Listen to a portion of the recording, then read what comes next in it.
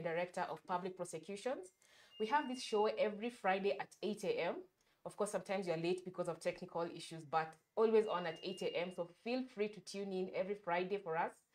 Uh, this show is meant to inform and educate you. Above all, we we want you to learn so much about the law so that you can know how to apply it in your daily lives. We are on Facebook, we are on Twitter, we are on YouTube. Feel free to subscribe to our YouTube channel. Feel free to follow us on Twitter and on Facebook.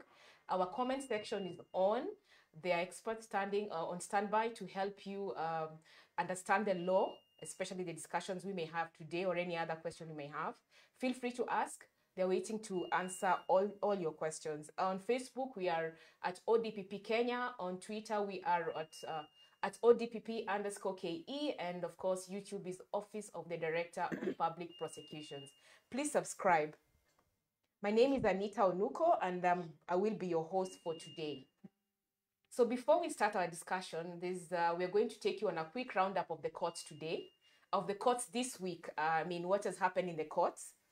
Uh, our first our first case will be of Jennifer Wambua, a very sad case that uh, took place last week. Remember, her body was found in Ngong Forest. Jennifer was a prosecution witness in a, in a land case. So the DPP has ordered for the investigation into her death. Remember, as part of the education, this is the this is one of the mandates of the ODPP. So he has asked uh, the investigative uh, bodies, agencies to investigate this death, and then he can pick it up from there. The office can pick it up from there. Our next case is from Wajir. Uh, to, there are three public officials who have been uh, who have been charged with embezzling 26 million of public money. They are meant to respond to these charges in a court, uh, I believe in Wajir. They are charged with corruption, abuse of office, and amongst other things. So we are on the lookout for that case as well. You remember corruption is one of those key, one of those fights that uh, the ODPP or the DPP has taken uh, quite, uh, has put it on the forefront of everything they're doing right now. Still on corruption, uh, there's the current MCA, remember David Mberia, the one who was found guilty of embezzling, or rather of taking a bribe. Remember the court uh, barred him from holding public office. Uh, the joke is that he wants to still hold public office and he went to court to ask them to still allow him to hold public office. But again, one of the repercussions of being found guilty of corruption is that as a public officer, you will be barred from holding public office. And I guess glad to report the court upheld this and still he can't hold public office. He's still barred from public office. And the other case we may look at today is the one in Mombasa, and this is possibly a lesson to all of us. There's a guy in Mombasa who was charged with, uh, with uh, I think, extortion. He wanted to to distribute uh, one of those uh, videos. You know, when you find someone in a compromising situation, with, uh, I mean, and, and, and more so a public officer. So he tried to, to, to, to, to take 200,000 from this guy so that he doesn't publish these videos. But then he was taken to court, he was found guilty. He's been charged with uh, extortion and uh, he's been asked to pay 200,000 shillings, the same money he wanted from this politician, or face one year in jail. And one of those things the judge said is that the guy was not remorseful at all. Either he had just given up to fate or something, but he wasn't remorseful. So the judge just said this guy has to pay this money or face one year in jail. Remember, the case was for the Lamu senator Loitiptip, one of those stories that came from Lamu. That's a quick sneak into the courts this week. Uh, we'll give you more information. If you have a question, if you have a clarification, feel free to comment and uh, the experts are on board and on standby waiting to respond to you about anything you may want to ask. So this week we have been talking about child justice. Uh, child justice is quite one of those things that we have to understand as a country, as a people, because remember the youth are about 80% of the population of this country now. And of course, before you attain the age of, uh, of, of being a youth, you're a child. So we are going to discuss about child justice. We have taken you through some some tenets of the law that are, that pertains to child justice on Twitter and on Facebook. We've seen your comments, we've seen your questions, but today uh, we are going to discuss child justice with the with the with the what do you call her? I call her Mama Yao because she's the mother of children of all children in this country as, as pertains to the law. So uh, on air today, we are privileged to host Caroline Karimi she is Mama Yao in all in all ways, in all means. She holds Uh, she's going to teach us and educate us some nuances of the law that pertains to child justice. I'll allow her some few minutes to introduce herself. She's the head of Child Mission and Anti-FGM, but let me not get into that. Let me allow her to introduce herself. Caroline Karibu Sana, please tell us a little bit about yourself and what you do at the ODPP. Okay, thank you, Anita. It's a privilege to be here. Uh, my name is Caroline Karimi. I work for ODPP, as uh, has been mentioned, and I head uh, the Children's Division, which also has the anti FGM unit. So I've been a prosecutor for quite a while. Um, it's a it's a job that I really enjoy. Um, it has given me a chance to be able to interact with uh, a lot of people and transform their lives and do something about um, the, the challenges that they're going through, maybe something that has happened to them, or just to enable them to access justice. Okay. So um, it's a noble job that I, I really thank God for this opportunity. Oh, good. I hope you don't mind us calling you Mama Yao. Does it speak about your what you do? Yeah, uh, yes, it does. In fact, some people also call me Mama Watoto. Oh, good. So you feel responsible for children in this country. Yes, um, it, it's a it's a group that is very good to work with. Um, they're, they're souls that have gone through so much, but they never, you know, like uh, lose their hope completely. So I've learned a lot from the children, and they've also managed to be able to benefit so much from ODPP. Oh, yeah. So, what is the first case that that introduced you to child justice? What is that one case you remember that introduced you to child justice? All right. Um, Actually, I, before that, yes. Why is it not juvenile justice? I remember you correcting me. It's no longer juvenile but child. So why is it no longer juvenile justice? Uh, all right. Uh, before the the Children's Act, there was a lot of the use of the word juvenile, and it had the connotation of a child who's you know troublesome, truant, truant in a way. Uh, but when the, the Children Act came into being, you will notice that they did away with anything juvenile. So the entire act does not have the word juvenile. juvenile. They moved to use the word child because it was more representative. Because the truth of the matter is that it's it's not that we only have children who have committed offences in the in the in the criminal justice system. We have others who are into the system because of something that has happened to them. They are victims or uh, witnesses of crimes. Mm but also international conventions have encouraged governments to move away from using the word juvenile. juvenile. Okay. Yes. Oh, interesting. So, what is that one case that, when you think about, is what introduced to child justice? All right. Uh, honestly, I can't even remember my my first maiden case. Mm. Uh, but there are cases that stand out that really, you know, drew my attention to the plight that children are going through. And one of them was um, a very sad case of a brother who set his sister on fire. Um, and what was unique about that case was that we, we as prosecution, you know, stopped for a minute and we asked ourselves questions like, what would make an 11 year old boy who clearly still loved his stepsister set her on fire? And we went uh, ahead and did uh, like social background inquiries yeah. into the life of this boy to try and understand why he would do such as, as you know a horrible thing horrible, yeah. to a, a, small child because the sister was around three four years mm-hmm. and what we discovered is there were a lot of issues going on at home there was uh, a stepfather in the picture there was a lot of abuse towards this boy uh, there was a lot of neglect, and the mother seemed to have taken a certain side. Mm. So the boy had developed a lot of anger and, and pain out of it, uh, which had been suppressed over time. And that is one of the push factors that made him do it. He did it not because he wanted to punish the sister, but he thought she was a coveted item that had come into their life, and out of it, he had been pushed aside. Mm. And we also did some mental assessment of the boy. And what we got back was some recommendations from the psychologist saying, this is not a child that you need to put through the criminal trial system. Mm. You need to mm. find alternative ways mm. of dealing with it because there were underlying factors to uh, what that he had done. Mm. Yeah. So, mm. and, and that opened my mind to the fact that when you're dealing with a child, before you put them through the criminal justice system, you need to understand. Children are supposed to be innocent. Yes. So what is it that is causing these children to come into the criminal justice system? So you also shrinks in some in, in another world.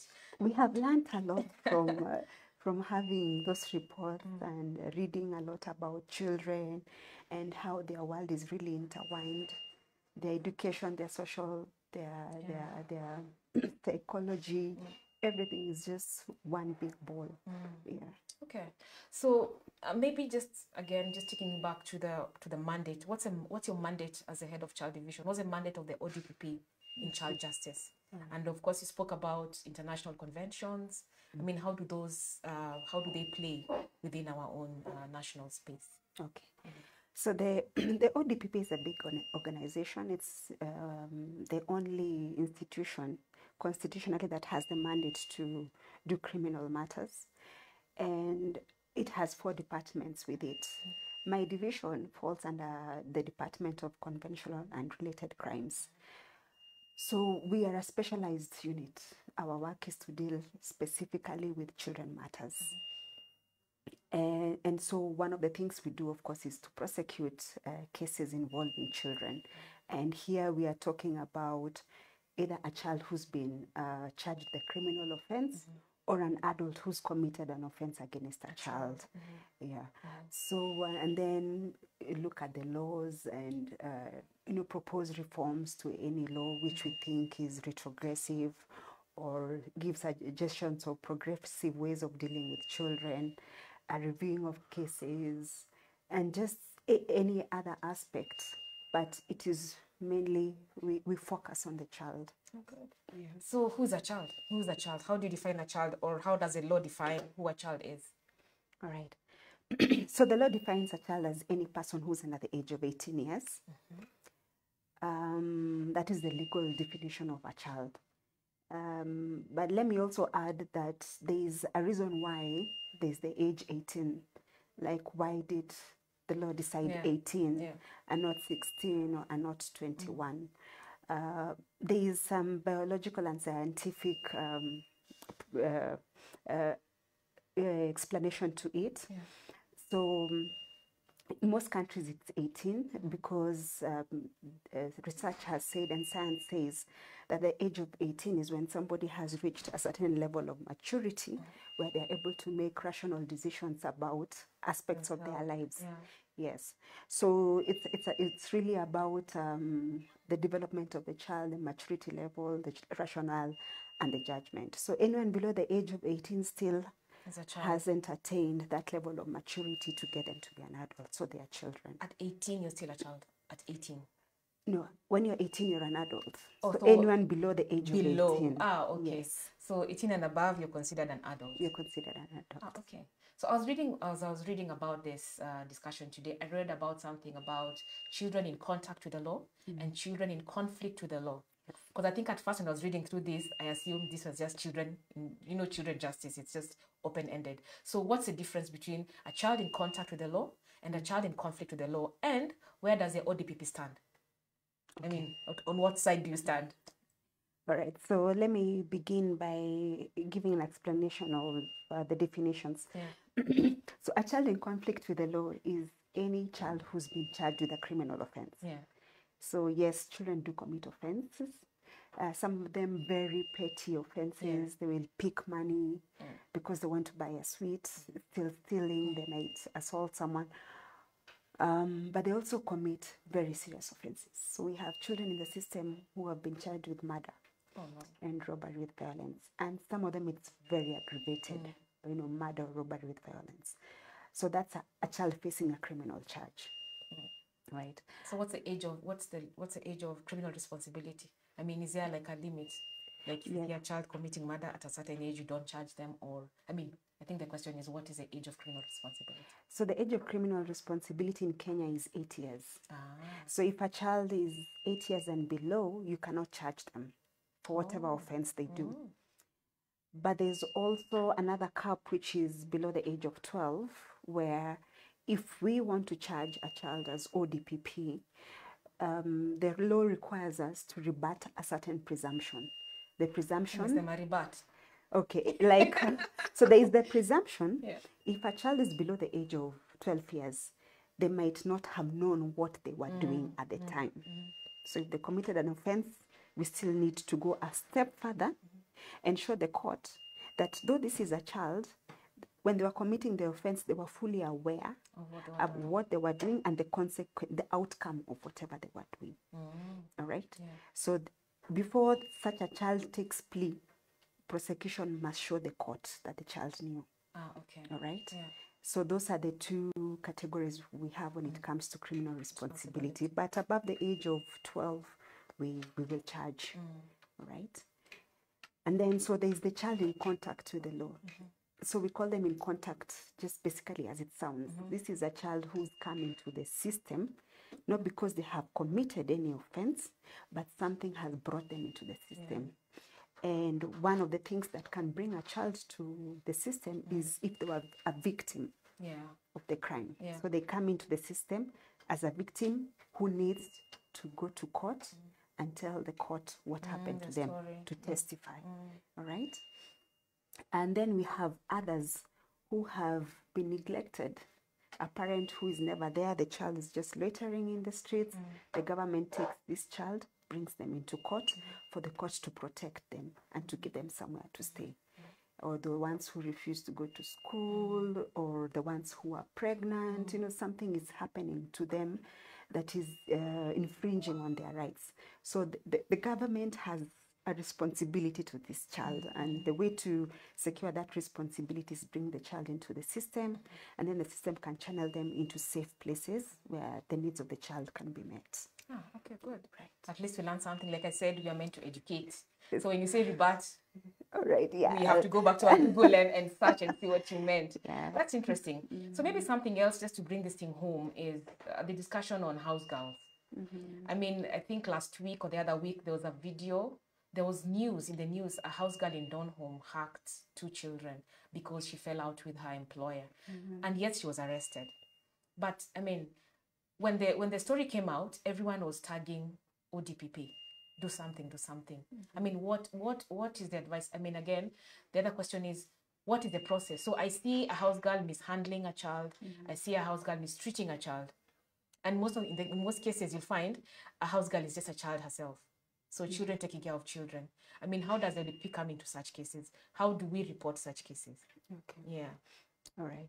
So yeah, it is unfortunate when things like those ones happen, Anita. I think it tugs at everybody's heart. It does. Yeah, because children are innocent and uh, they don't need to be to be harmed for somebody to you know express To make a point. or yeah. make a point. Yeah.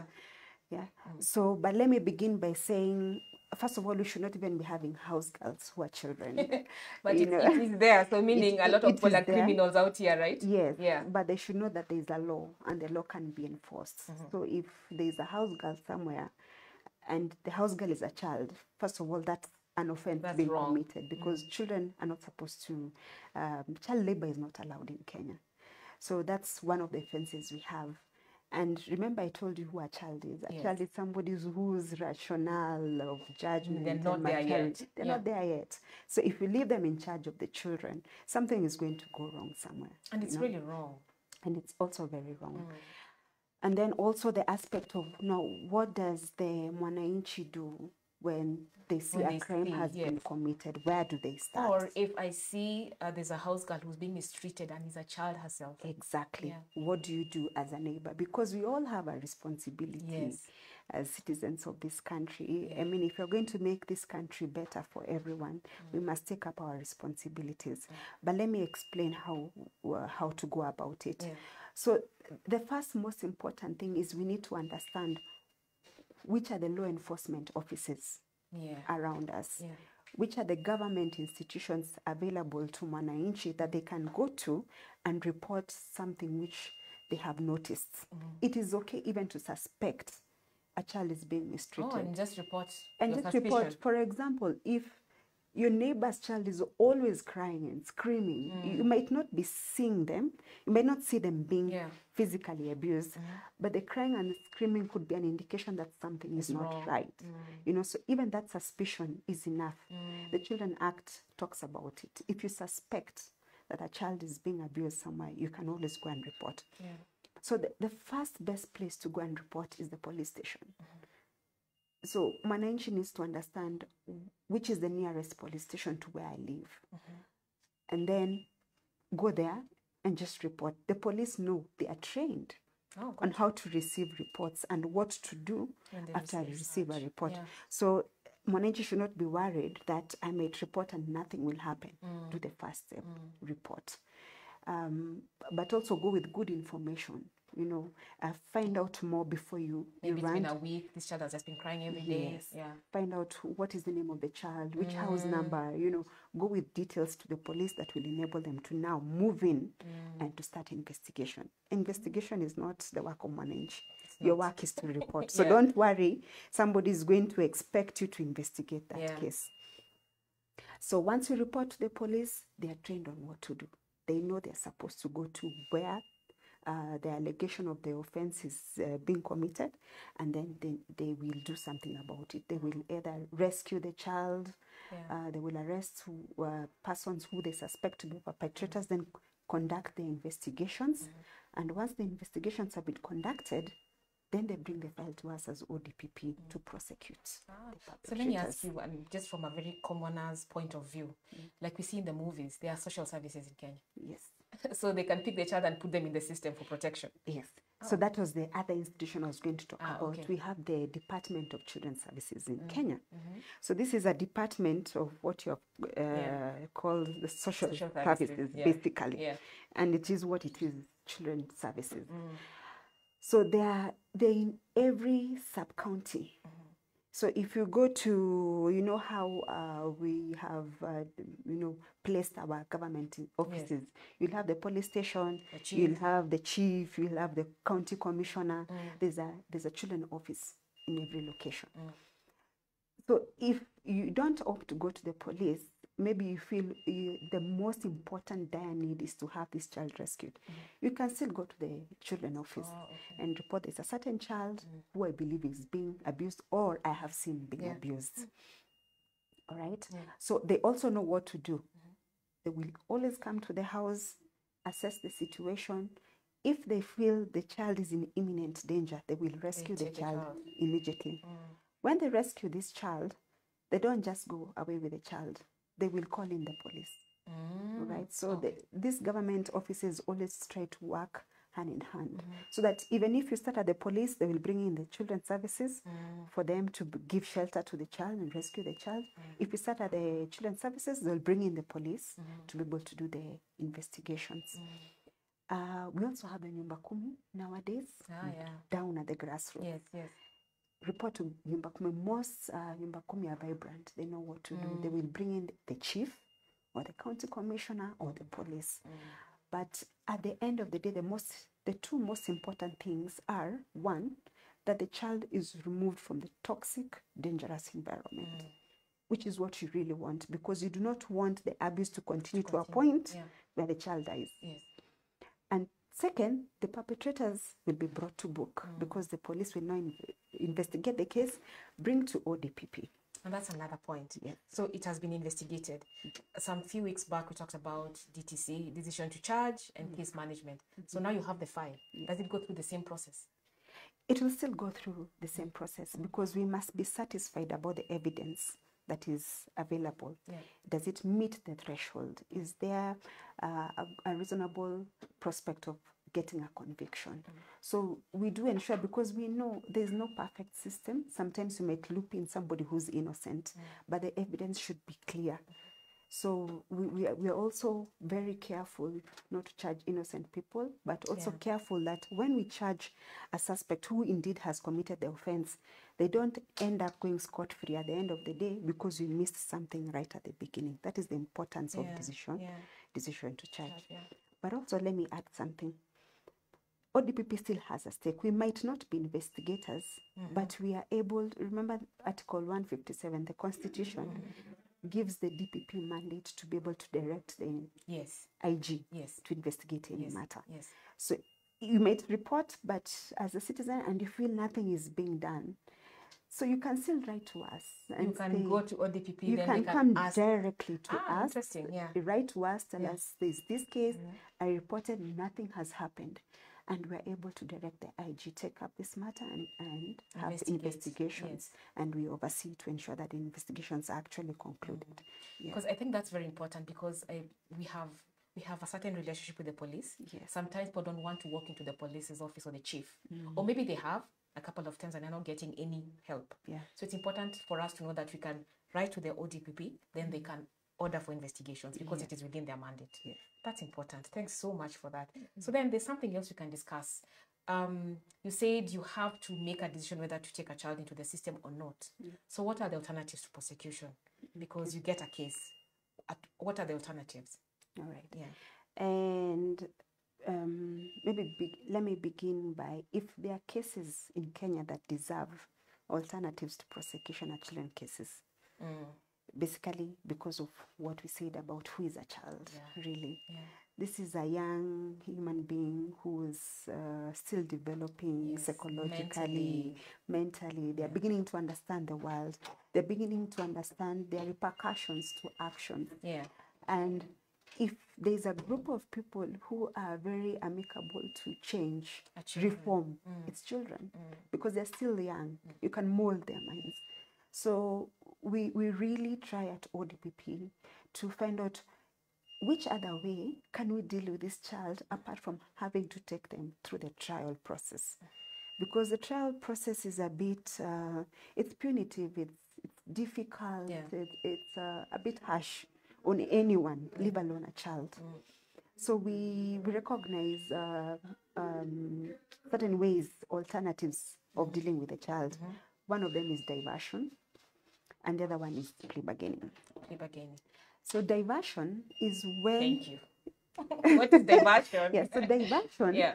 is when you decide uh, this person indeed has committed the offense and they have accepted Their mistake. responsibility. Mm-hmm. Yes. So you, that's the starting point. We will we will not be able to give diversion to somebody who says I'm innocent. Ah. We now we are talking about somebody who has accepted Accepted. responsibility. Mm-hmm. They say yes, I'm the one who stole. I'm the one who mm-hmm. did one, two, three. I'm sorry about it. So we take them away from the the just the criminal, The system. the trials The system. trial. Yeah. They're in the system, But they yes, will go through trial. but they will not go through trial. So we, we find other routes of dealing with them. And for children, we have quite a number of programs that we mm-hmm. can send them into, depending on how serious the offense is. oh, so this is where community service comes in. Exactly. Oh. Community service, you mm. can have counseling service, ah. you can have drug rehabilitation services, you can have the child. If it's a very petty offense, they mm. took 1,000 from the auntie. You don't need the child to stop going to cases? school.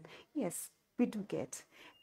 And, and that's why I say for every child that comes into the system, it is important that we stop and think, what is it? What happened? There's always a story Yeah, back then. yeah. Where is the child taking 1,000 and the auntie is adamant, I want this child in the system, Yeah. all right? Or even the parent. Mm. There could be some family breakdown happening, you know, pushing the child into, into crime. Yeah. Yeah, so th- there are many ways of dealing with these children that, we can, that can help them to reform. Mm. Because remember, the purpose of the criminal justice system is one to punish or to rehabil- rehabilitate. Yeah. So if you can achieve the rehabilitation without having to go through the trial process, you would rather take that option, especially for children. Ah. An approved school part of diversion. Yes, they are, but unfortunately for for approved schools, you need to go through the, The system for them to for them to get into those schools. Ah, okay. All right. Alright. But we, we have other institutions. We at ODPP we have been able to network and uh, get in like CSOs and NGOs that offer programs for CSOs are what? rehabilitation. Community Commu- um, charitable Oh, organizations. organizations, Ah, okay. you know, or the non-governmental organizations, all right? Uh, like there's one we work with called Pendekezo Letu. They have Oh. tailor-made programs mm-hmm. for diversion. Ah, okay. So we we're able to bring them on board, and then the cases go to them. They do the mm-hmm. rehabilitation, and they give reports. We just don't leave it at that mm-hmm. mm. because at the end of the day, we want to ensure we achieve mm. what it is we want to rehabilitate the child to make them better. Yeah. all right? So that is basically diversion, all right? Yeah, yeah. So they just go into another system that is mm. being monitored. By ODPP, or if the case had already gotten to court, it's done under the court's Mm, supervision. supervision. Oh, all right.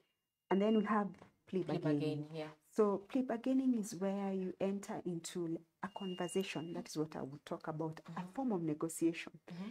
with the other party, especially and only when you have sufficient evidence against them. Mm-hmm. And you're telling them, we have sufficient evidence. If you go into trial, I am sure you will be convicted.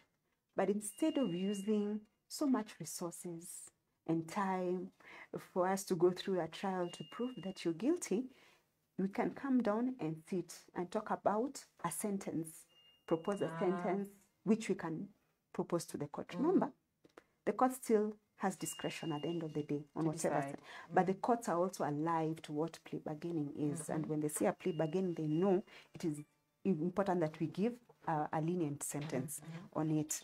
So, Sorry about that. So um, this one, but then involves going through the court because he has to plead guilty, but then you get a lenient sentence out of it, or even compensation mm. of the victim. It's it's quite an interesting system, mm. but it it prevents that aspect of having to call witnesses, oh, the the long adjournments in court. Mm. So the the case it shortens the process. it shortens the process, right? Ah, interesting. We've learned something today. Diversion, plea bargaining, And plea bargaining. a lot of things. Rebut. yes. But also, let me be clear uh, for plea bargaining, we would not use it for sexual offenses. Ah, okay. Yeah. Ah, okay, interesting.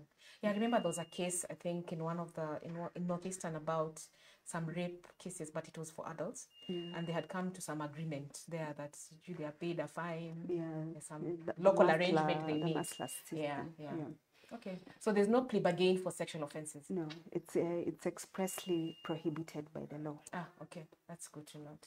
Now, you st- you hold uh, part of your title is uh, anti FGM. Yes. FGM is a big thing in this country. And there was a very interesting case this week. Yeah, this week. I was surprised that there a doctor, a female doctor, who has practiced for 31 years, wanted the court to decriminalize FGM. So maybe what I want to know from you is when was the anti-FGM formed? Why was it put under the Children's Division? How long it's been operational, and what strides have you made? And before that, what do you think of this case? It was a win, right? It was a good win for the anti-FGM crusaders. Yes. Yes. yeah. Um, so do I begin with the case or the background? case. The back. Yeah. Okay. So the, the case is you're Were right. you It's by it? a lady.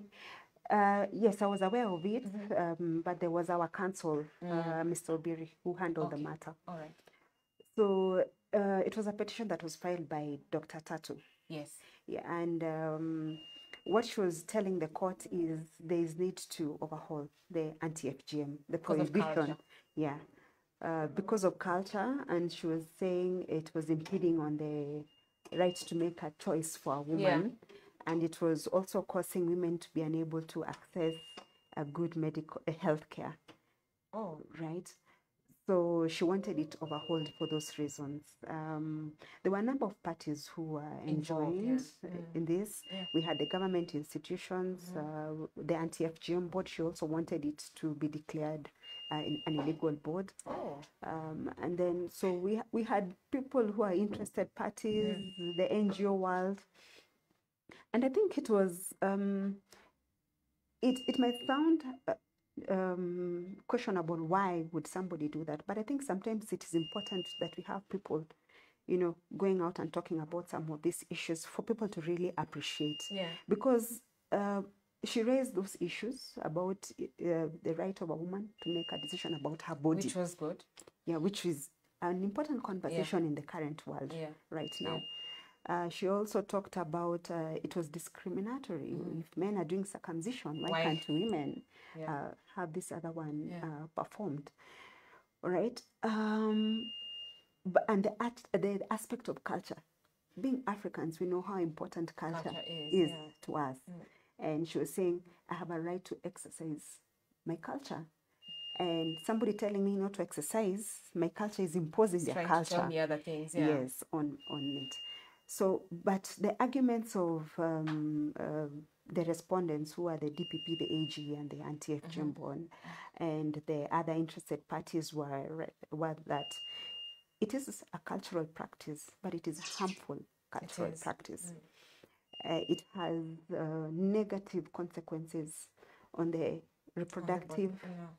health of a woman. It it is painful. Um, it has mental uh, repercussions. Uh, you know, women breaking down because one of the doctors who gave uh, testimony in that case said the women get the feeling of incompleteness. There's a part of them that is missing. And very interestingly, in fact, one of the doctors equated FGM to cutting off the tip of a penis. Oh. In other words, it is extremely retrogressive. So the, the- we had victims coming forward and said, I have gone through FGM and these are the repercussions I have had to face. Some of them talk about suicidal feelings. You know, they were forced into it, the yeah. inadequacy. Uh, then there's the, um, you know, the social pressure around it. We had witnesses talking about I ran away not in order not to be cut. But when I came back, I'm an adult, but I'm considered a child by the community Because you're not cut. because you're not cut. And so the court, uh, in its conclusion, holistically looked at the case and said the repercussions, the negative outcomes of FGM far outweigh any benefit that is visible if there's If there is anyone. any. Yeah. So, and if that is the case, then whatever right you have cannot be a right if it is Harmful. harmful, right? Mm. And there was the issue of consent because she was mm. arguing, I'm an adult, I should be able to do what I want with my body. But the court was asking, and you know, the, the, the respondents and the parties were asking, but is it genuine consent? When if you refuse to go through it, Yeah, you're you're ostracized by Yeah, the community. yeah. Yeah, you you might even be forced. Some of mm. them, They're some of the women during delivery are cut because the community really want them to go through Oh, it. And so the court was under the circumstances we cannot say there was genuine consent. The, Mm. the consent given is not free and voluntary. And in fact, the court gave a very interesting uh, conclusion to it Mm. and said that the women are actually like children Mm. in this aspect they Mm-hmm. are as, are as vulnerable as a child because they cannot voice that they Yeah, think yeah. about Again, it. culture, where culture places women. yes Yeah. so the court upheld that the fgm is a harmful cultural practice Yeah. the, the act is right it is constitutional it does not infringe on any right Mm. Any rights. to it yeah. So then, how? Why is it part of what you do at ODPP? because it's a criminal offense and remember we do we handle any criminal offense in Yeah. kenya and fgm is a criminal offense because it has been outlawed by a, um, an express law Mm-hmm. the prohibition of female genital mutilation act which came into being in 2011 Mm-hmm. so we also have a specialized unit at the odpp uh, for fgm matters Mm. and so we deal with any case um, fgm and um, They still have to be brought to you by the investigative agencies. Yeah we still do the normal process of Yeah. Mm. how we process our our criminal matters but the the good thing about the unit is it's trained on how to prosecute Ah, uh, these cases because they are unique Mm-hmm. this culture is not practiced everywhere so we have equipped our prosecutors with uh, the skills on how to prosecute these cases Mm-hmm. and apart from that we even do community engagement activities around fgm because yeah. remember it being there, a culture that are yeah. Yes, you, it's a mindset thing. So as you use the law on one side, you need to work on the mindset. So we also engage the community, yeah have just dialogue cool their thoughts about this practice. uh, about this practice. any, any success in that? Do you get success in this Yes, yes, community? engagement? there is a lot of progress that has been made. Uh, there's a lot of work being done by our office, especially since the unit was formed. The anti-FGM has been anti-FGM board has been very vibrant. We also get support from um, UNFPA, so there's a support our activities, and we are seeing uh, there's progress. Uh, communities are beginning to slowly abandon uh, this practice, and they are picking up some alternatives because FGM for some communities is a rite of passage. So if you're telling them this rite of passage tell them is something else. harmful, Yeah. yeah. So what do they replace it with? Yeah, interesting. Yeah. And even the, the, the, the people, uh, is it women who do it? It's also a form of employment for them. Exactly. There's some economic aspect of Yeah, it. yeah. So they're giving, uh, and that's the good thing about when government institu- institutions Mm-hmm. are able to collaborate with donor partners Mm. and other civil society organizations and NGOs because you pool resources together. Yeah. So when we are prosecuting, the civil society is offering alternatives to the cutters, so they abandon that practice. Um, the NGOs, together with the law enforcement, are talking to the community. It's illegal, you know. There's an act. Stop it. Yeah. You know. Yeah. So it's working quite well. Anti FGM. Interesting. Ah, I think we can't close this show without talking about COVID. COVID happened. Yes. A lot of things have happened. I had their mm-hmm. Romeo and Juliet parents. What is that, first of all?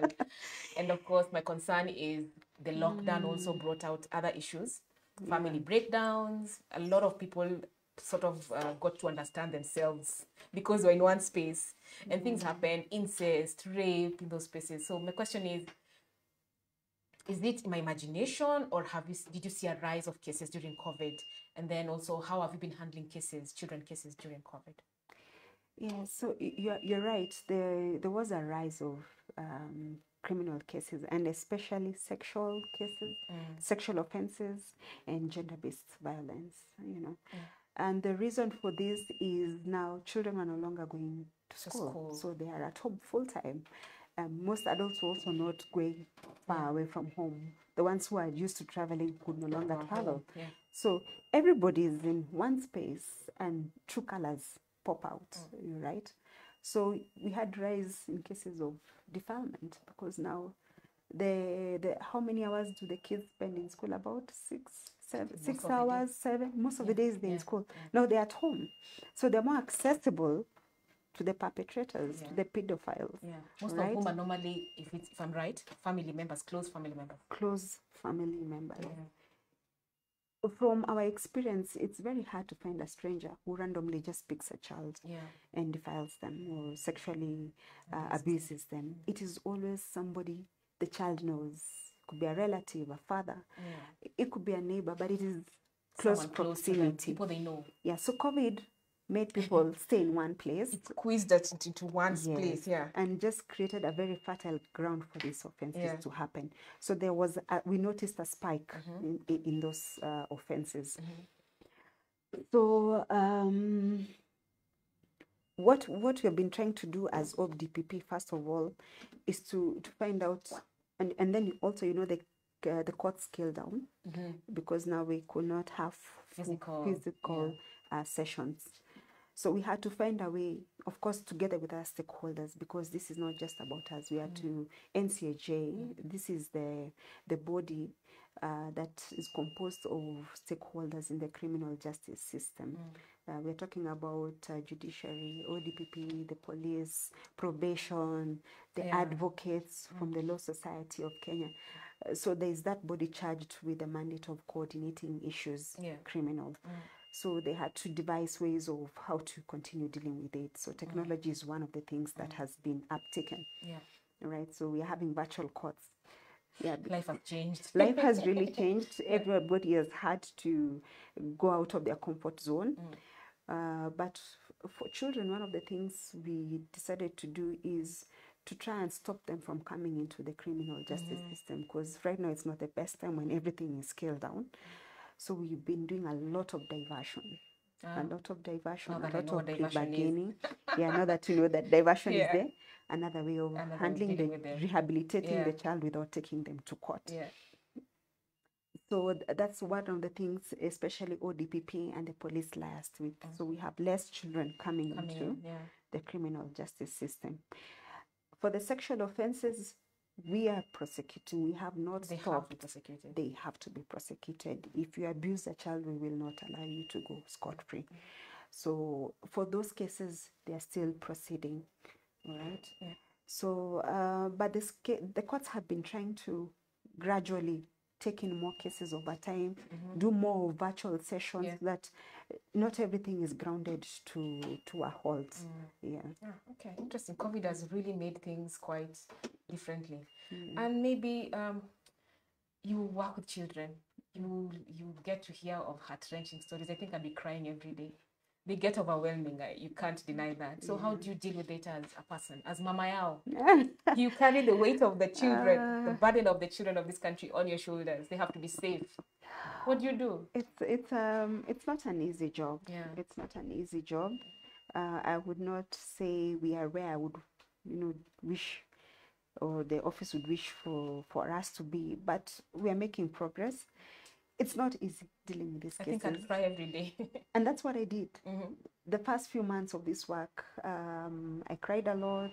I was I was a bit emotional in court. You, you know, I could not really wrap my hand, my head around things. why would somebody do something so horrific to a child. to a child Mm. as small as you hear of a child of two, Two years months. being defiled, Yeah. you know, and you look at the child and they're confused. It's it's heart wrenching, you know. Um, there's somewhere one time I said I had almost quit, and I actually thought about it because what happened is you also become paranoid in your Yeah. personal life. Space, yeah. So when you, you go back home, you don't want too many people around your children. It's, yeah. it's an effect you get out of work. Mm. But once you discover why you need to be there, Mm. it becomes manageable. Purpose driven now. It- It becomes a balance. So Mm. you, you have the bad side of it where you have to deal with the horrid stories and carry them in your head. Yeah. It doesn't mean when you go to sleep you forget what happened in court today. You can't detach. Yeah. You cannot detach. But there's the therapeutic side of it, um, which balances you as a prosecutor. Yeah. Of I made a change. So this child is no longer being defiled because They're they are out now. of that environment. The perpetrator is now facing the law, and the chances that they will be punished for what they did. Mm. So that's a bit. It's it's therapeutic. So it's it's a balance that we deal with every day sometimes. Yeah. But it's hard to say you're emotional. You don't have emotions about it. You have to get it has to tug your heart. Yeah, but the, that chance of being able to make a change for the child, Yeah. I think, is what drives me every day. That's good. Yeah. Interesting. So uh, I bet in another in another life you'd be a pediatrician then. or or a, or a kindergarten teacher. I would go for the kindergarten. Initially, my dream was the pediatrician one, um, but then um, I went to the hospital, and unfortunately, my first visit to hospital, my mom was a nurse, Yeah. and I told her, "Where are the kids? I want to go where the kids are." Unfortunately, unfortunately she took me to the cancer Oh ward. no. Yes, And you made your decision. and the dream died that day. Can you imagine. Yeah, it's, Yeah. Um, I, I knew in my heart I would not be able to cope with the pain uh, of those children. Yeah. Yeah, so and then God has His own miraculous ways You're of still working with children. exactly. It's Yeah. um, it's it's uh, it, there are things that happen in your life Mhm. later that you realize, oh, this is the path That I've been going down. You Yeah. know. So I found myself here, and I have no regrets a lot uh, at all. There's a lot we are apart from prosecution of cases. Mhm.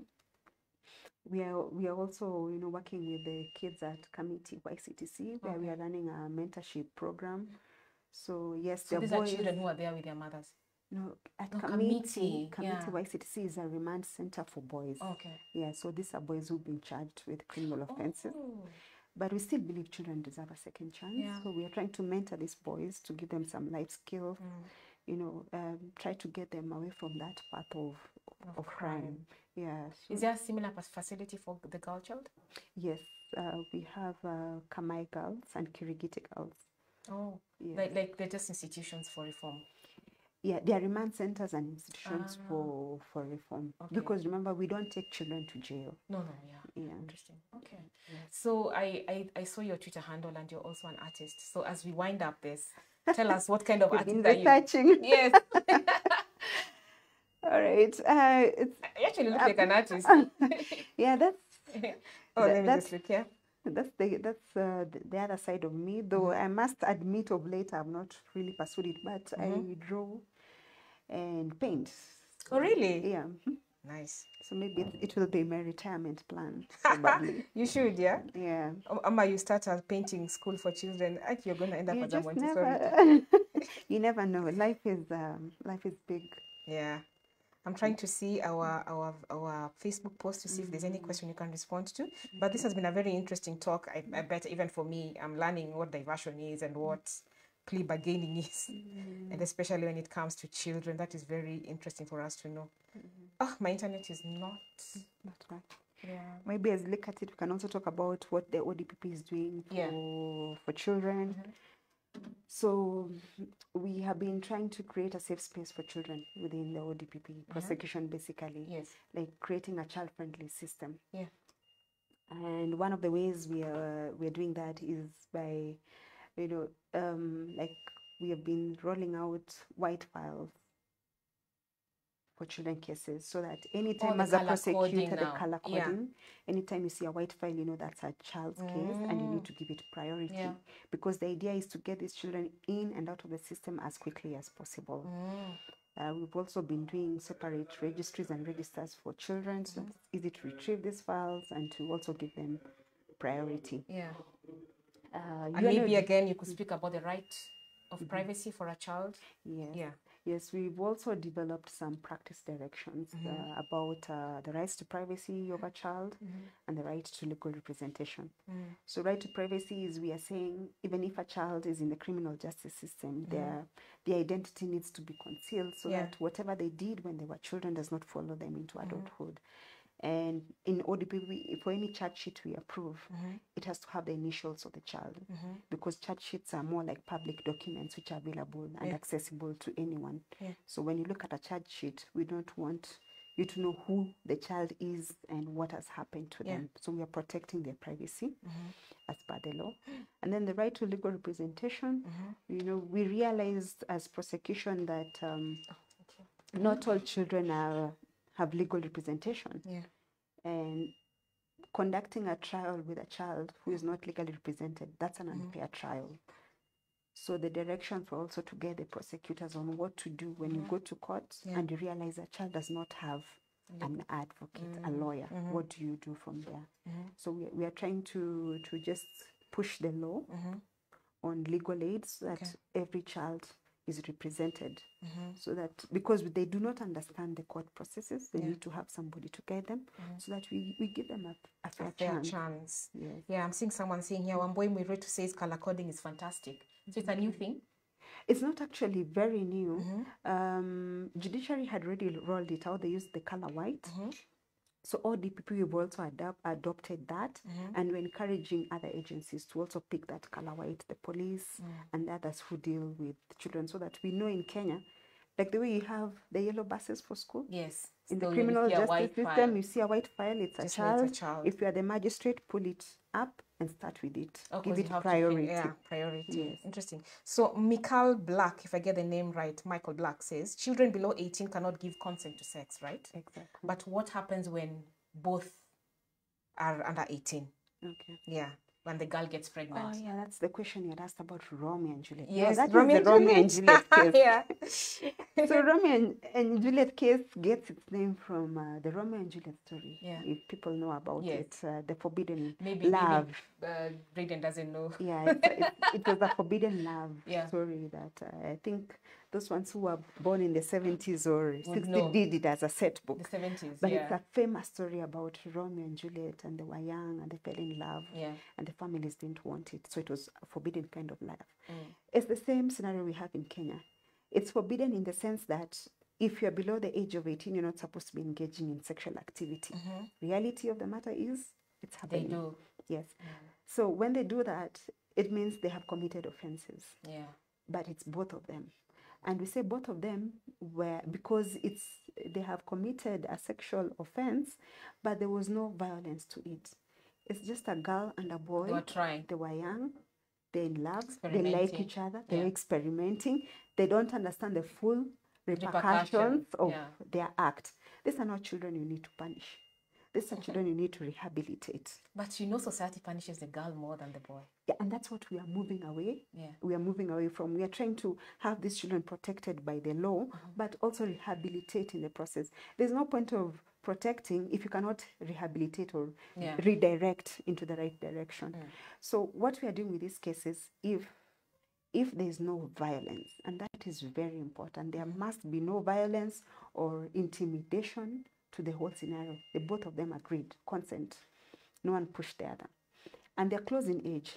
So we are not talking about a 17 year old And a 12 and year a old. 10 year old. Yeah. We are talking about a 17 year old and maybe a 16 year old. All right? So that closing age, upper age limit, Yeah. um, we are classifying them as Romeo and Juliet cases and we are diverting. Remember what we talked about Yeah, diversion? diversion. We are taking them to another program where we can rehabilitate them. Yeah. So what happens to the boy? You just cancel them? so they, they, they can one, counseling is one of the programs they can go through depending on you know we will get social inquiry reports that will advise us on to why um, they're engaging in this activity Yeah. so that we can be able to diversion is about tailor making a suitable program for the person you're diverting. So we don't have a blanket Yeah. a diversion program. Yeah. we must what are the needs of the child mm-hmm. and what would best meet those needs. Mm-hmm. Yeah. Oh, okay, quite interesting. So the child is well protected. the child is well protected. Mm. And at this point let me talk about uh, remember there was a um, high court um, there was a it's high court or court of appeal decision where the court had talked about the need to lower the age of The consent consent. because they were saying the boy child is suffering yes. yes, I saw that. yes Yeah. and uh, the national gender and equality commission was given the mandate by the ministry to develop um, like an opinion report to help the country to know which direction to go do we lower the age of consent How from was that 18 even a discussion? 16 Yeah. A national discussion. yes Yeah. and, and it was done and the, the report is out and their, their recommendations are we must retain the age of consent to 18. 18 Yeah, that's so important. let children go to school. Let them children be children. Let them be children. Yeah. Uh, some of these things we are saying we want them to engage into in sex at 16. Yeah. How are they going to bring up child that comes out of that Yeah. union? Yeah. They can't work because the law does not They allow anyone below the age of 18. Yes. Wow. So there is a lot to it. What about their education? Yeah. Our education system goes up to 17, 18. Yeah. So when you say the girl can have sex and engage in all these things at 16, what happens to education? What about her health? Yes. They're not, doctors have They're not said it. ready. Biologically, they're not ready to bear children. Actually, there's that discussion of just because a girl has started her periods doesn't mean she's ready for for sex. Physical maturity is not equivalent to mental maturity. They are two different counts, things. Yeah. Yes. Yeah. So, so we are hoping that report will be adopted because I think that is the way to go. Let Yeah. children be children. Mm. Okay, interesting. Uh, something else maybe still on children. I know there are parents who take their children for family planning when they begin their periods. Tell me that is wrong. or that is okay. Is it within their right to do so? We we've been having discussions on other forums on that and what is the law about that and um, there is no express law saying you cannot take your child for family planning. That is the unfortunate thing. But the consequences, the results of what you do mm-hmm. could actually arise into a criminal offense. Yeah. Like, for example, if you take your child for family planning and then there are complications out of it, mm. you know, you could be easily charged with causing a child to be in need of care and mm. protection because you have brought some harm into their life. Mm. But maybe let me speak to the parents at this point. Yes. You, you don't need to do the family planning way to stop your child from getting pregnant. Mm. And when the report about the age of consent was being done, it mm. was very holistic because the children were involved, parents were involved, the church was involved, Yes. teachers and all mm-hmm. were also involved in that process. Mm-hmm. And they were saying that one of the reasons why children are even engaging in early sex mm-hmm. is because there is a problem in the family. Mm. Uh, parents are not taking up their responsibility. So it is the first responsibility of training a child, educating a child, is the parent. It's not Yes. the teacher. Yeah. So the parents need to start stepping up. It starts from home. Start with you talking to your children about what sex is and what are the various types of repercussions. Just don't tell them that if you have sex, you'll have a baby. That's There's not that's just as well. one Yeah. of the repercussions. Yeah. There's disease, they could have sexual reproductive Yeah. issues. Mm. There's the economic aspect of having a child that you cannot even bear. You know, There's so much to it. So it's just to encourage parents, don't take the shorter route out of this. Mm-hmm. Just try your best. Sometimes I know not every intervention works, Yeah. but you must you cannot start with giving um, uh, your child uh, contraceptive. it doesn't help. It, a it shortcut. does not. It is a shortcut. Yeah. There- are diseases to it. There's HIV, which will not be re- you prevented can't by, reverse that. and you cannot reverse Yeah. it. Yeah. Yeah, okay. Uh, so there's a there's a question here by Wambui Miritu, Miritu, sorry, Wambui. She asks that how do you go about a case where the child totally refuses to testify if they have been defiled? They refuse, kabisa. Yeah, that is actually one of the challenges we face as ODPP when it comes to child witnesses. Mm. Um, and there are various reasons why a child will refuse to testify. Fear. Fear. Children are generally afraid of adults. Who are in court? It's the adults. The magistrate is an adult, the prosecutor is an adult. You put them there and they feel overwhelmed. They cannot speak. Secondly, is the trauma from the from the abuse. Yeah. Uh, it shuts them down. And most of the time is because the first time the child is abused, they're told, if you dare talk about this, I'll hurt so and so. I'll kill you, the I'll kill your child, or I'll Yeah. kill you. Mm. So there's, there's this trauma aspect to it, and the child does not know how to address it. Okay. Um, the other one is direct intimidation. Yeah. where the perpetrator is well known to the child and is telling the child, if you go to court and you say I did it, you're dead. Mm. Uh, so there, there, there are many factors.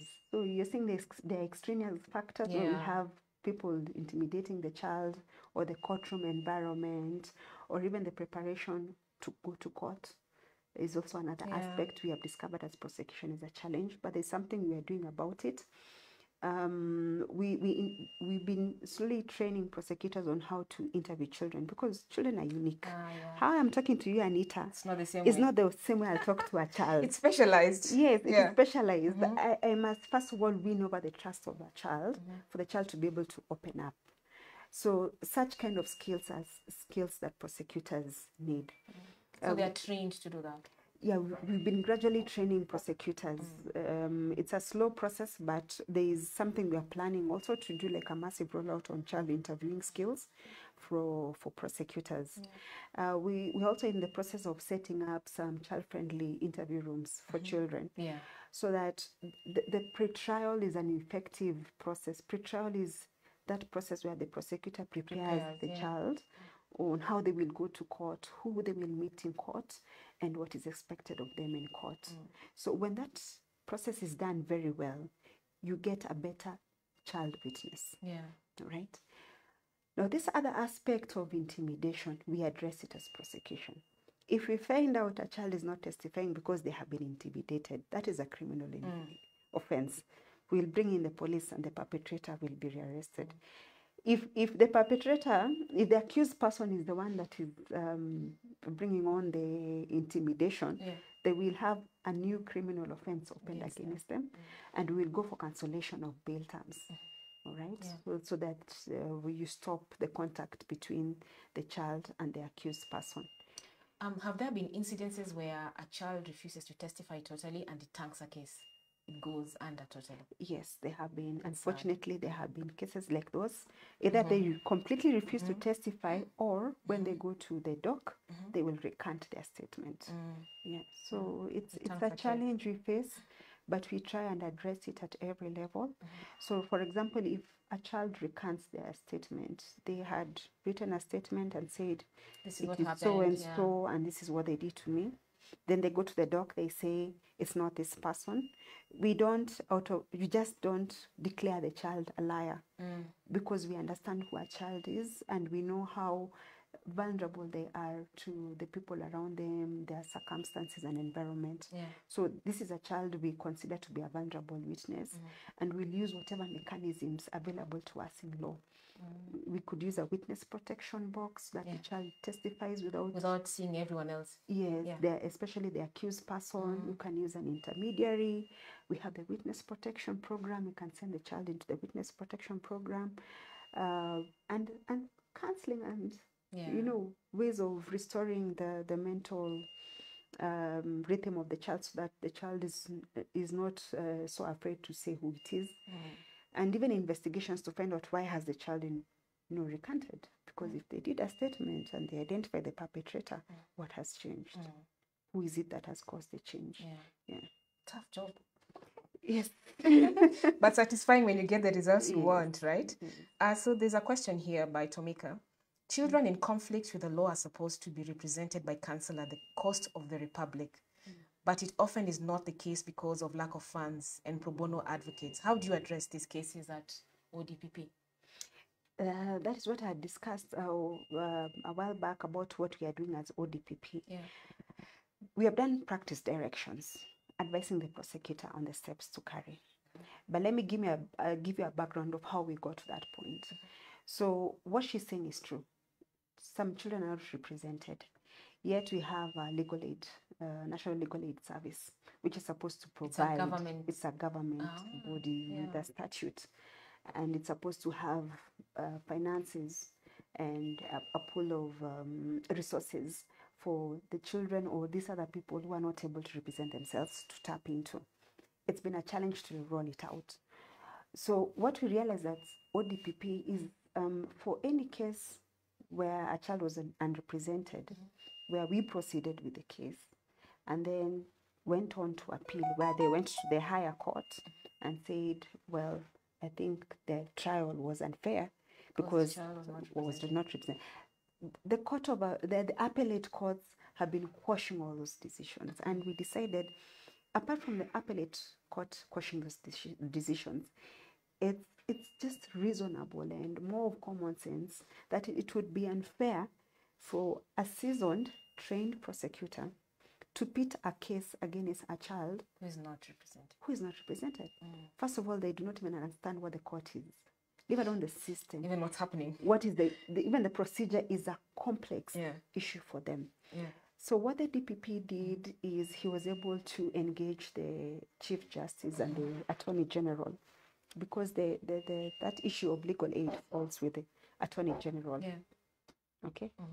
And then the CJ is because the law says the court is supposed to ensure that this child is represented. So they, the two have responsibility. What is the responsibility of ODPP? It's for us to bring to the attention of the court that the child I'm about to engage into a trial is not represented. Can the court kindly make um, orders For them to for get the one. legal aid service to provide the child with uh, legal Can representation? you as ODPP call on legal aid directly? Not okay we can but it would be better we follow the protocols that it is the court that yeah. is supposed to issue an order and the order served upon mm. um, the the AG or the legal aid service to Yeah. provide this child Yeah. um, with a representative the CJ was very quick to act. Mm-hmm. As soon as the DPP wrote to him, he issued his own practice directions to his mm. magistrates and mm-hmm. told them to ensure That every, every child child has is represented. a representative. Mm. Mm. So if there are issues of money, and there's um there's a Supreme Court ruling, and it says um, that the right to legal representation is not um, like a progressive right that Yeah. should happen in small stages. It is immediate It's immediate, because the minute you go into a trial with an unrepresented child, you have infringed on so many of their Right, rights. So it must be accorded to them uh-huh. immediately. Then there's the pro bono scheme. I know at Milimani and I think Nakuru it is working. Mm-hmm. So there's money from judiciary for the pro bono scheme. Mm. So advocates can take up these cases. They're given a small stipend mm. to enable them to to do these cases. But it requires the, the court stations to form a committee so that they can be able to access the pro bono um, uh, Services. services. Oh, so let me ask, as um, an underage, like a child in contact with the law, am I able to walk into legal aid and say I need representation? That's one of the, you can actually access that. Of course, a child would need to be accompanied by a guardian, Yeah. but there's a procedure outlined in the, in the Legal Aid Act on how to access. So they can write to the legal aid uh, services and request to be given um, a representative, Yeah. a legal representative For free. for free at the cost of the state, That is. Things we didn't know. Legal aid exists. Yeah, it is. It's, can it's actually free- working in, in some counties, but not in all, Yeah. which is the unfortunate thing. But uh, at least for all the people, we've taken a stand that we will do our best not to proceed with a case where a child is not legally But just for clarity, there are lawyers under legal aid and they are paid by the government to do this. There that's uh, that would be the pro bono one the pro bono scheme Mm-hmm. Yeah. where the court now you know enlists lawyers who can work for them under the pro bono scheme Mm. But for the for the legal aid, the court issues the order, and then the legal aid service is supposed to provide the advocate. So there's no way they can say we have no staff, we have no capacity to do this. I understand that is one of the issues causing the what you're seeing now, the challenges, capacity issues, resources issues. But again, there's a Supreme Court ruling that says that is It should not be immediate. it should be immediate. Yeah. Okay, thanks. That's in, that's interesting. I hope you've been answered, Tomika. Uh, there's another question. Uh, first of all, good job, Karimi. I think you've been the best teacher on this child matters today. And like I promised, uh, guys, this is Mama Yao, so she knows everything about children and she represents them. So Veromas asks, what is a structured way of supporting defiant children, especially teens in secondary school? These cases are becoming rampant and caregivers appear helpless. Parents are helpless when it comes to their errant children. They're, Most of them are in high school. So you hear a case of a child fighting the mother, or you hear a child, not actually mother, but you hear many cases of children in schools beating up their teachers. So Vero is asking, how what what can we do about it? Mama Yao. I might not have all the answers, Yes. but what we are we are seeing from experience, uh, for a child to to get to that point, there's a concoction of factors pushing the child to be that, and unfortunately, one of the factors we realize is there is lack of proper parenting currently. goes back home again. Yes, it's good for us to be realistic about these issues, so that we know what the problem is and how to address it. We are busy parents, of course. The world has become a fast place. Different. We hardly have enough time Yeah. for our children. But out of that um, laxity, uh, for lack of a better word, our children are following. They, They're they, they are the lacking, yeah. uh, you know, a model Mm. on, on what to follow. So, one of the things we need to do as a country is uh, for you know family strengthening. Um, of course, it's it's not going to fall with us alone. It's many people coming together, the church coming together, Yeah. the civil society coming together.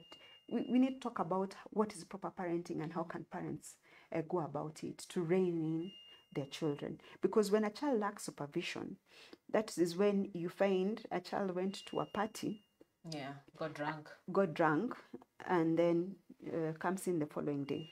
The parent is there and they're telling you this has been happening for a while. And they help the child nurse the hangover first. Yes. so how do you respond? What is your first response? Because your child learns a lot Yeah, from how you respond. yeah. So uh, family strengthening is one of the things we need to really work on. Because even if you look at the children who have been charged with criminal offenses, mm-hmm. most of them have issues with family mm-hmm. uh, issues. Mm-hmm. But also, what we are talking about, what is the role of Mwananchi in, ad- in what is the responsibility of Mwananchi when it comes to they have seen something wrong happening? Yeah. Okay, fine, I'm the parent, I'm doing a poor job, you're my neighbor. Yeah. What can you do about it? But then I think times have changed. Do, does the village still raise the child? That, that is also the other thing. So we are, when we are talking about family strengthening, because the family is breaking down, it means even the society It's itself. yeah. There, there's a problem somewhere, and, and people need to uh, accept it and find a way of working about it. it, yeah. But there's re- responsibility of remember. Okay, in my days, you're a bit younger. Don't count on it. yeah, you know, in in my days, uh, you know, if a neighbor saw something off with me, they would either talk to Yes, my parent yeah. or my auntie or anyone who would assist Or they with mete out punishment there and then. or mete out punishment. Or if they find you doing something wrong, they will not pass. They will help you. They They'll will correct stop you. and correct you. Mm. So even law, so apart from the society doing that, even law enforcement needs to Yeah. upscale all right uh, needs to be more out there i know it's a big challenge because now we have this these gadgets. Yes. so the children are, are- are meeting yeah. on the social media platforms away from the knowledge of the parent. So your child is in the house in the bedroom but they're not there with you. They're in another world on the phones. So there's need to control also um, a lot of this uh, a lot of these From experience, is there an age where you advise parents to give children's to, to, to give children their phones or I mean, is there an age that I should not give my child a phone? Is there a limit? All of experience, not just the law. I'm old school. I, I so you would wouldn't give- give my child a phone. Yeah. And the only reason I would not give my child a phone, not because a phone is not a good thing, there's a lot of good information there. Mm. But it far outweighs what is the bad that is there and Yeah. I'm not able to supervise. So anything I cannot supervise becomes a challenge because you will not know when things are going wrong. We have online child sexual exploitation, a new area, emerging area of law, and it's blowing up. Children are being abused over the phones. Are you expanding into those areas as well as ODPP? Yes, we are. We are. We have a small team dealing with um, working together with the DCI uh, on this uh, online child ex- sexual exploitation. There's a lot of harm Going on. happening to children. These stories you're hearing of uh, a child wakes up in the morning and commits suicide, and the parent has no pointer. Cyberbullying. It's cyberbullying. Yeah. Uh, you know, there's a lot of things happening there. There is sextortion. Yeah. The child is meeting a Mzungu in Netherlands. You have no idea. And they're posing naked for them. Yes, your child has eaten lunch. They have gone up there. They have posed naked. The guy is blackmailing. Yeah. Yeah. So for, for me, a, a, gadget I cannot supervise is a dangerous item. Yeah. Yeah. Yeah. Okay. Uh, so there's a question here from Carol Matz. I hope I get the name right. Lack of legal aid for children in conflict with the law results in delayed resolution of cases and likelihood of injustice. Do you have any message for young lawyers? How can they be of help? You're right. Yeah. So uh, y- you seeing there's a lot of interest about uh, legal aid. Yes. and I, and I hope um, this message will get out to the legal aid, the AAG and the legal aid service. Yeah. Yes, um, it has a lot of negative consequences, but um, the message out there to the land, not just the young lawyers, to the lawyers, give back. Yeah. Take a case, do it for free. You know, don't expect much in return. Or if there's a pro bono scheme uh, near your court stations or the usual place of practice, Join it. join it. It, it may not give you much money, but you the impact you have You'll is much helped. greater. Yeah. Yeah, so this is a call out. I, I know for Kenyans, we don't do a lot of pro bono work, free work. You don't know what that is. Yeah, it's we about need the we money. Need, yes, we, we need to to be able. You don't need to do 10, 20 free cases, Yeah. but at least take two, three cases per year, Yeah. and let it be the, what you're giving back to the society. So there is room for that. Courts, especially in the counties where we have very few defense advocates. It's, it's, it's a call for them to explore how they can, you mm. know, help. Yeah. Yeah. Okay. This has been great. Thank you so much for being an awesome, awesome guest. Like I promised, you had the information we needed. I hope you have been educated, or the audience out there. There's still room to ask questions. There's room for us to respond to those questions as you may, as they arise. Thank you once again, and we hope that you join us again next week for the ODPP Cafe. Uh, remember, COVID is real. Mask up, social distance. Stay safe. Keep yourself safe, safe, and also keep your neighbor safe or you're the person next to you. Thank you, and have a very great weekend ahead.